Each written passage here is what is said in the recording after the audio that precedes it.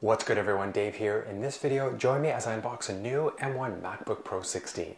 This will be my third MacBook Pro, my first a 17 inch model from 2007 that lasted 6 years, and my current one a late 2013 Intel Core i7 MacBook Pro 15 that's still going strong, albeit a little slower. But after 8 years and skipping all the MacBooks that only had USB-C ports, I felt now's the time to upgrade. So, let's dive in.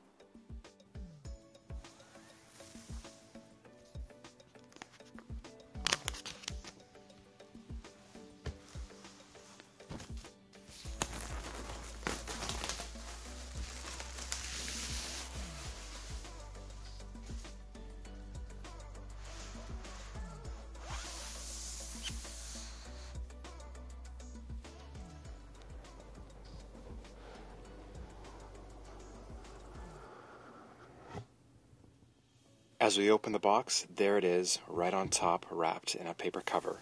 The MacBook Pro 16 with the M1 Pro chip.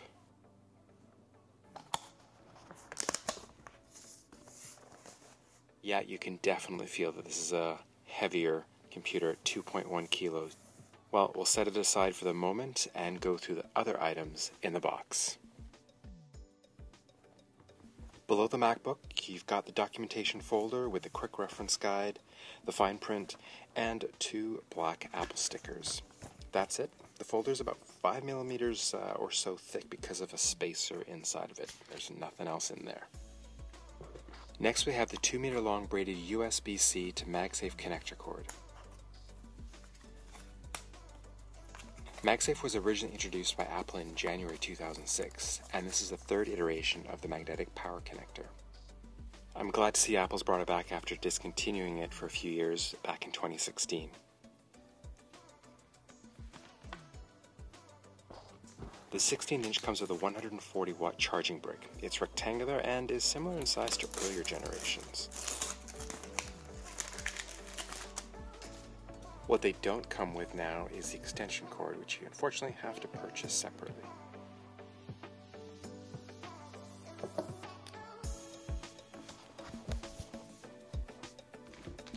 And now the star of the show, the 2021 MacBook Pro 16.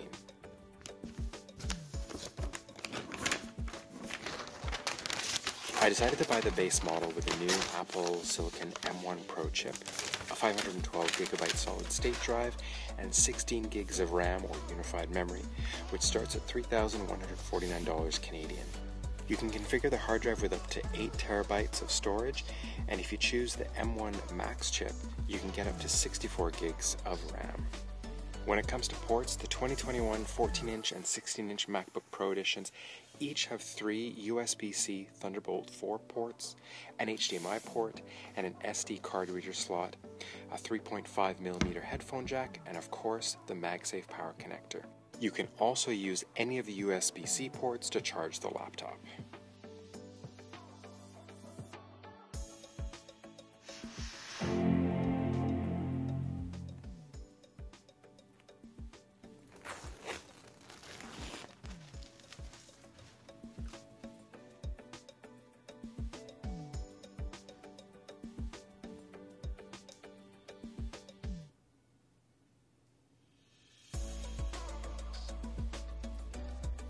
Now let's go through the steps to set up this Mac. Since this is the first time the Mac is being used, the setup assistant will walk us through a few steps to get the Mac up and running. From the Hello screen, click on the arrow at the bottom to start the assistant. First, select your language from the list, then click Continue.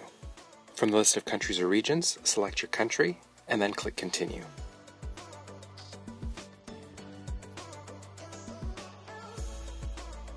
On the accessibility step, there are four settings to choose from which enables features based on the needs of the person using the computer.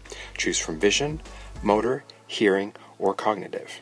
If you'd like to set this up later, you can do so in System Preferences, or if it doesn't apply to you, you can click on Not Now in the lower right.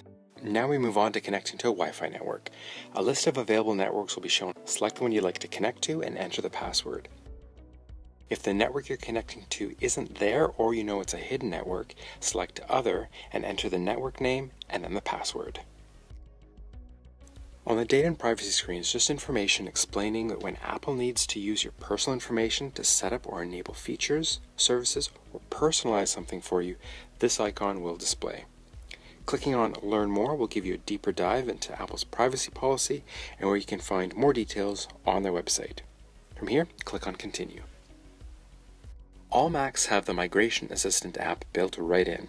If you're moving from another Mac, Migration Assistant can move all your applications, all your data, and settings to your new Mac. Or if you're moving from a Windows computer, Migration Assistant will move over your data to your new Mac. I'll select Not Now in the lower left and we'll continue with the initial setup for now.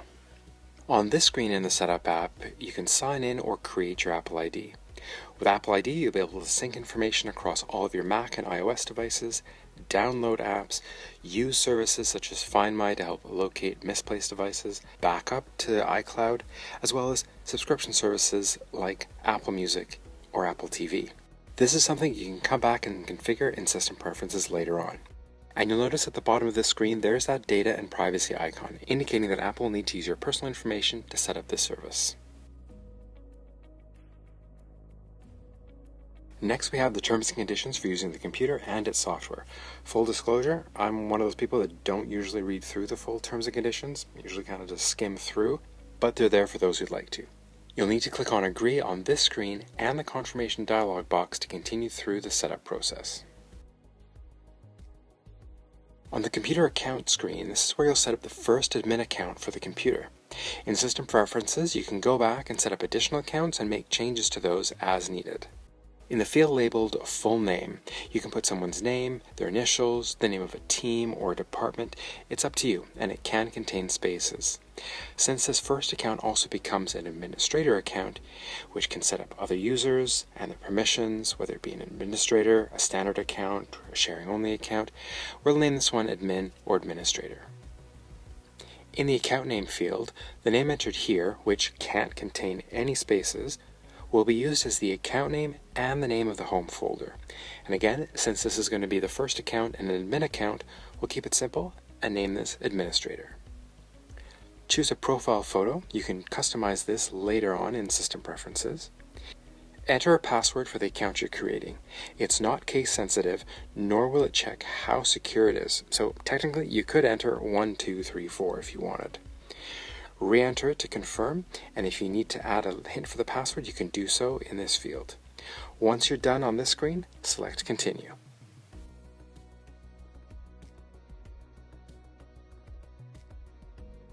Location services will approximate your location using anonymized information from your Wi-Fi network. This will allow apps and services such as Maps, Siri suggestions, websites, and Apple's Find My to provide relevant information based on your location. This is something that I personally have turned on. In analytics, your usage is shared with Apple and app developers to help them improve their software and their services. Although the data is anonymized, I personally uncheck this, turning it off, as there are other ways to provide usage and feedback to Apple. Once you're done on this step, select Continue. Next in the Setup app is Screen Time. What Screen Time does is provide you with details on how often you're using apps on your device on a daily and weekly basis. It's possible to get a report on your combined screen time across your Apple devices when you're signed in with your Apple ID and the share screen time across devices is turned on. Although I've got this turned on on my iPhone, I'm not going to turn it on here and so I'll select Setup Later in the lower left. Although Siri's been available on Macs via macOS for a while, I never set it up on my late 2013 MacBook Pro, but will enable Siri on this new MacBook. Click Continue. On the next screen, from the list of available options, select a voice for Siri. Hi, I'm Siri. For now, I'll select the first one. After setup is complete, you can customize and change settings for Siri in System Preferences. To set up Siri, say the phrases shown on the screen. Once done, you'll get a prompt indicating Siri is ready to use, and you can move on to the next step. On this next screen, where Apple asks for your assistance in improving Siri and their dictation service, it sends Apple a portion of your audio with what you've asked Siri. Although it's anonymized, this is something I have turned off on my iPhone and will keep it off on my Mac. So I'll select Not Now. Touch ID is available on newer MacBooks and allows you to unlock your MacBook with your fingerprint instead of typing in your password. To set this up, tap and release your finger on the Touch ID sensor a few times, and don't forget about those edges. The setup assistant will let you know when it's complete, and like some of the other settings, you can set this up later in system preferences if you'd like.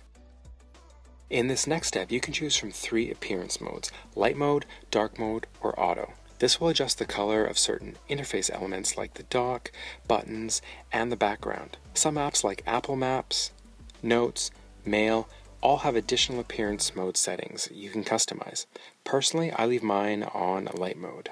After clicking continue on the appearance mode step, you're presented with a desktop and you finish the initial setup in Mac OS Monterey. Going through the steps in the setup assistant will take around 10 minutes to complete. While you can start using the Mac now, it's best to run a software update to download and install any available updates. To do that, click on the app logo in the top left of the menu bar, then click on About this Mac. On the Overview tab of the dialog box, click Software Update. This will open the Software Update section of System Preferences and check if any updates are available for your Mac. If any updates are available, they'll display here. To start the install process, click Update Now. Depending on the type of software update from Apple, the download and install process can take a while. This update from macOS 12.0 to 12.1 took about 30 minutes to complete. At some point during your setup process, you'll see the FileVault disk encryption screen. FileVault encrypts data on your Mac from unwanted access. I've had this feature enabled on my previous two MacBooks and will enable it on this one as well. A couple things to note when turning FileVault on. You'll be given a recovery key, and it's important to write this key down and keep it in a safe place, as Apple cannot recover any lost FileVault key codes. You'll also need to sign into your Mac each time you turn the computer on or wake it from sleep. Once you've written down the key code, click Continue. Software update will display again, and it shows the Mac is all up to date.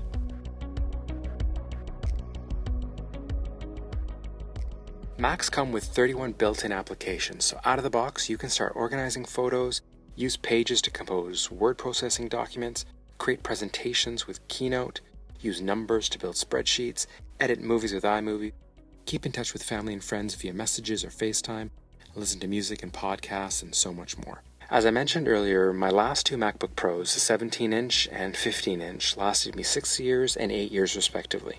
And my late 2013 MacBook Pro 15 was compatible with 8 Mac OS releases up to Big Sur in November 2020. However, if you're someone that doesn't upgrade their laptop every few years, you'll certainly get your money's worth from an investment like this. Apple does have smaller and less expensive laptops that feature the new M1 chip family that are amazing in their category.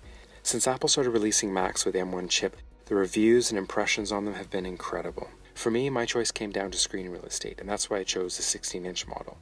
Plus, based on my personal experience with my last two MacBooks over the past 14 years, I'll certainly get my money's worth out of this one for many years to come. Thank you very much for watching my unboxing of the 2021 MacBook Pro 16. If you enjoyed this video, please give it a like, please consider sharing it, and please consider subscribing, and I'll catch you in the next one. Peace and love.